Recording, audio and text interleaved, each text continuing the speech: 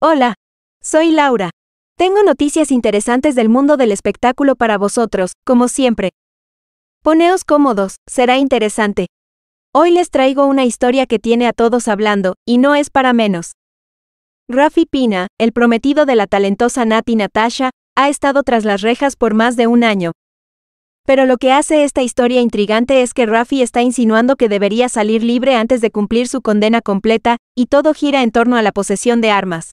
Rafi Pina insinúa que debería salir libre, ¿su posesión de armas no era ilegal? El prometido de Nati Natasha hace un llamado a autoridades. Rafi Pina insinúa que debe salir de la cárcel y habla de que su posesión de armas no era ilegal. Hace ya más de un año que Rafi Pina está en la cárcel, lejos de su pareja, Nati Natasha, y de sus hijos, incluidos la pequeña vida Isabel. El productor musical y artífice en parte del éxito de Daddy Yankee vive un calvario y no pierde la esperanza de salir libre antes de cumplir los 41 meses de condena. Mira qué carta bajo la manga sacó para llamar la atención de las autoridades. Hace unas horas el puertorriqueño hizo una publicación a manera de story en su perfil de Instagram, en la cual goza de más de 3 millones de seguidores que le externan su apoyo en estos momentos difíciles. Rafi se dirigió a los medios de comunicación, diciendo lo siguiente, la Corte de Apelación del Tercer Circuito de los Estados Unidos decidió el caso de Range V. Attorney General.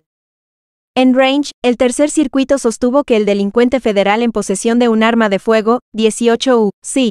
922 G1, es inconstitucional cuando se aplica a un demandante cuya única condena fue por un delito de fraude no violento cometido hace 30 años. Rafi, quien planea hacer una fiesta cuando esté libre, habla del hecho de que recientemente la Corte Suprema de Estados Unidos debatió sobre el caso Brian Range, preguntándose si es legal prohibir las armas de fuego a las personas condenadas por delitos no violentos, según reportó hace algunos meses la agencia de noticias Reuters. Pina señaló en su Insta historia, según Range, los fiscales de todo el tercer circuito que incluye Pensilvania, NJ, New Jersey, Delaware, ahora tendrán importantes dificultades para entablar procesos contra los acusados a quienes se les encuentre armas de fuego que, de otro modo, no se les permitiría poseer debido a condenas no violentas. Lo expuesto por Rafi no aplicaría en su caso, ya que el prometido de Nati Natasha, de Puerto Rico, fue trasladado a un penal de Florida, para luego ser llevado a una cárcel de Carolina del Norte. Pese a esto, parece que para él se ha abierto un canal de esperanza.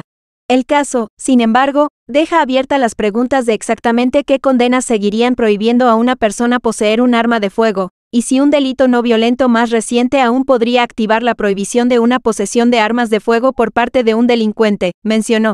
En abril de 2023, se dieron a conocer malas noticias, pues la condena de Rafi Pina no se reducirá, según un fallo del juez Francisco Bebosa, pese al amparo que al equipo legal del famoso interpuso. Por ende, Rafael Antonio Pina Nieves debería permanecer en la cárcel hasta completar sus 41 meses de condena. Mi pregunta para ustedes es, ¿qué opinan sobre esta situación? ¿Creen que debería considerarse la liberación de Rafi Pina antes de cumplir su condena completa? ¿O creen que las leyes sobre posesión de armas deben mantenerse firmes sin importar las circunstancias? Los leo en los comentarios y juntos continuemos siguiendo esta historia intrigante.